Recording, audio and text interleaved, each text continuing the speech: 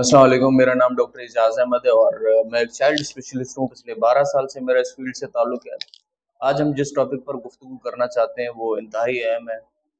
जैसे कि आप सब लोगों को पता है कि हमारी कौम और हमारे मुल्क का जो माजी है, वो वायलेंस के साथ जुड़ा हुआ है और ये वायलेंस आज़ादी लेते वक्त शुरू हुआ है अट्ठारह सौ ईस्वी में और उसके बाद फिर नाइन्टीज़ में जो है गोरिल्ला वार और दूसरी जंगी सूरत और अंग्रेज़ों के साथ लड़ाई, उसके बाद फिर जब ये मुल्क आज़ाद हुआ था, उसके बाद फिर हिजरत के दौरान लड़ाई और उसके बाद फिर टेररिज्म और जो दहशत गर्दी के जो वाक़ात हैं, उनसे लड़ाई। उसके बाद फिर पुअर एजुकेशन सिस्टम और पॉवर्टी दूसरा डेवलपिंग कंट्री और पुअर सोशो इकोनॉमिक स्टेटस की वजह से जो लड़ाई झगड़े हमारे कबायली इलाकों में और दूसरे जो पसमानदा इलाकों में वो बहुत ही कॉमन है। तो इंसान हर चीज़ अपनी इन्वायरमेंट से सीखता है।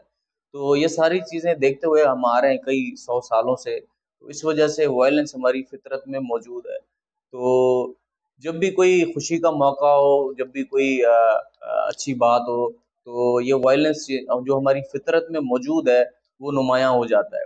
तो इस वायलेंस को हम मुख्तलिफ़ तरीक़ों से जो है ना ज़ाहिर करते हैं। कभी किसी के साथ लड़ाई झगड़ा करके ज़ाहिर करते हैं, कभी कोई हवाई फायरिंग करके ज़ाहिर करते हैं, कभी कोई और चीज़ करके ज़ाहिर करते हैं। और आजकल जो हमारा माशरा है इस वायलेंस को जो है अपनी बहादुरी समझता है और और इस वायलेंस को मुख्तलिफ़ ओकेजन्स पर ज़ाहिर करके अपनी मर्दानगी का और अपनी बहादुरी का इजहार करता है।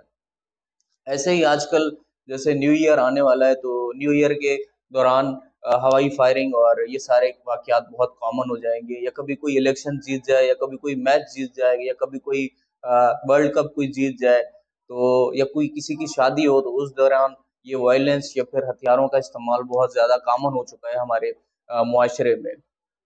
लेकिन मैं ये बताना चाहता हूँ कि हमारी छोटी छोटी आदतें या फिर छोटे छोटे ख्वाहिशात जो है ना, किसी के लिए बहुत ज़्यादा मसला बन सकती हैं और किसी के लिए घर में मातम का सबब बन सकती है।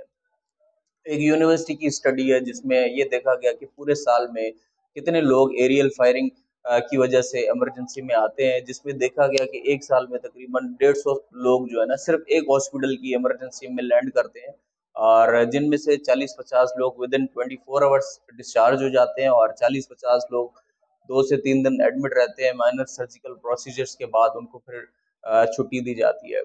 और उसमें से 10 से 15 फ़ीसद लोगों का बेचारों का इंतकाल हो जाता है। मैं अपना एक्सपीरियंस बताऊँ 2022 में मैंने दो ऐसे पेशेंट देखे जो एरियल फायरिंग की वजह से बेचारे इंतकाल कर गए एक छोटी पाँच साल की बच्ची थी और एक पंद्रह साल का लड़का था जो एरियल फायरिंग की वजह से इंतकाल कर गया। तो काफ़ी अफसोस की बात है, काफ़ी दुख की बात है। इतने जदीद दौर में भी हम उल्टी सीधी हरकतें करके किसी को ज़िंदगी भर के लिए महरूम कर देते हैं अपने प्यारों से। तो मेरी सबसे गुजारिश है कि 2023 आने वाला है और न्यू ईयर का प्रोग्राम होने वाला है। इसमें मुख्तलिफ़ लोग अपने हथियारों का इस्तेमाल करते हैं और वेपन्स का इस्तेमाल करके अपनी बहादुरी का जो है ना, वो लोगों को दिखाना चाहते हैं। तो आपसे गुजारिश है कि प्लीज़ आप इन चीज़ों से जो है ना, आप इज्तनाब करें ताकि किसी को नुकसान ना पहुँचे।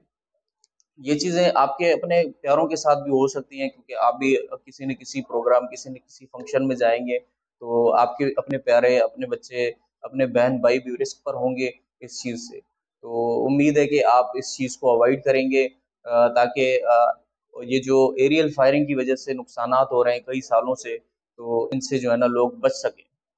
मिलते हैं अगली वीडियो में, अपनी दुआओं में याद रखिएगा। अल्लाह हाफिज़।